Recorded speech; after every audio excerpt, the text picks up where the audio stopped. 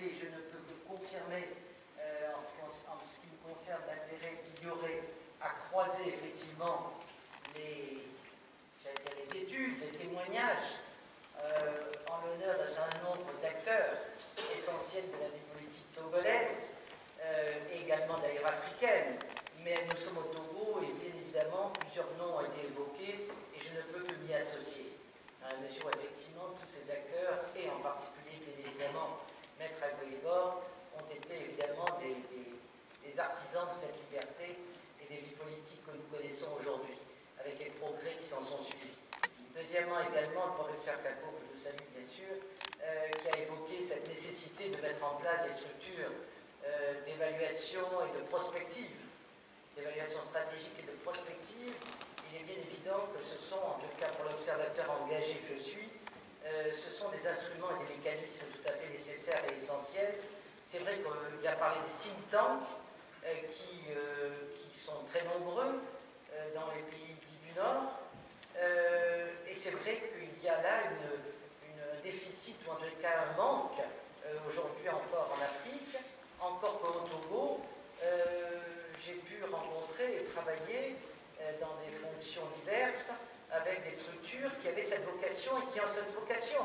L'Observatoire panafricain de la démocratie, qui a été créé par nous tous, j'allais dire, et par Johnny Galli dans les années 90, et avec justement les protagonistes des processus démocratiques. Euh, également la Fondation euh, euh, pour la paix qui a, été, créée par notre regretté ami, bien sûr, Kodjo, Premier ministre Edem Kodjo. Et je salue bien sûr la présence de, Cornelius ici. Donc il y a déjà, et j'en oublie bien d'autres, mais je parle pour ceux que j'ai connus, avec lesquels j'ai travaillé et je travaille, et je pense qu'il y a donc des ferments, des éléments, mais dont il faudrait effectivement euh, auquel il faudrait euh, euh, conférer une plus grande impulsion, plus grande confiance, plus grande impulsion, des moyens et véritablement une fédération de ces, de ces synergies. Ça, c'est ma première, première observation, Monsieur le Président. Je vais être très rapide, Monsieur le Directeur. Deuxièmement, depuis hier, j'avais envie de le dire. Et tout à l'heure, le professeur Cacro a redit ah ben, nous avons eu effectivement du personnel politique qui, quelque a été, sinon choisi, mais en tous les cas, il y a eu une sorte de, tendance ou de sélection ou d'appui euh, pour des fonctionnaires internationaux, effectivement, euh, des économistes qui pouvaient répondre aux préoccupations, notamment des ajustements structurels dans les années 90. Euh, Et paradoxalement, dans le même temps, il y avait effectivement, j'allais dire, des, processus démocratiques aussi, qui étaient en cours.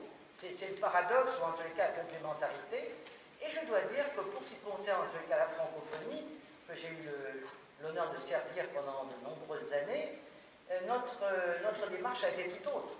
Nous sommes allés chercher les acteurs nationaux de ces processus.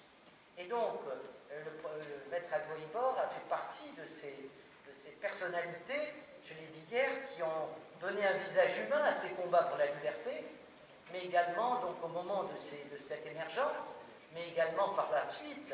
Je me rappelle que la première facilitation, entre guillemets, que la francophonie a accompagnée, c'était celle justement au Togo, la quadripartite, euh, qui s'est soldée par les accords dits de Lomé euh, en 1999 et qui avait été initiée par euh, M. Boutros Boutros Ghali à la demande des autorités, des acteurs togolais.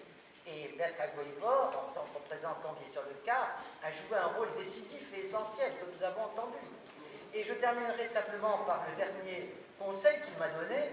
Euh, quand nous avons là aussi dans un processus, j'allais dire, endogène, euh, qui a associé toutes les parties euh, du nord, du sud, de l'est, de l'ouest, et en particulier celle de l'Afrique, qui était en marche à ce moment-là, quand nous avons fait le processus de préparation de la déclaration de Bamako sur les pratiques de la démocratie, des droits et des libertés dans l'espace francophone, nous avons consulté plusieurs de ces acteurs, notamment togolais, et Maître Agbolor m'a toujours dit, m'a parlé des partis politiques.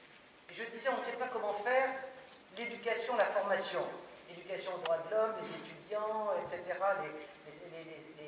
les, différentes euh, catégories professionnelles, mais les partis politiques. Comment former ou comment aider à la formation des partis politiques sans avoir l'outrecuidance de penser qu'on peut, j'allais dire, apporter quelque chose à des responsables politiques Et il m'avait donné un conseil. Il m'avait dit finalement, euh, Madame de Souche, essayez de regarder la question euh, des fédérations de partis politiques au niveau africain, ou au niveau en tout cas régional africain.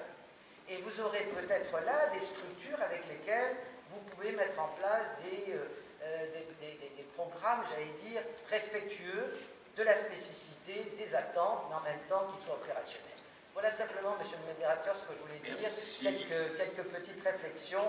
Euh, J'allais dire bien avant, un processus qui a commencé bien avant, euh, non seulement le mur de Berlin, qu'a rappelé Robert Dessous, mais également euh, le discours de la Baule, qui n'est venu qu'après, que ces processus, justement, pour la démocratie se sont enclenchés.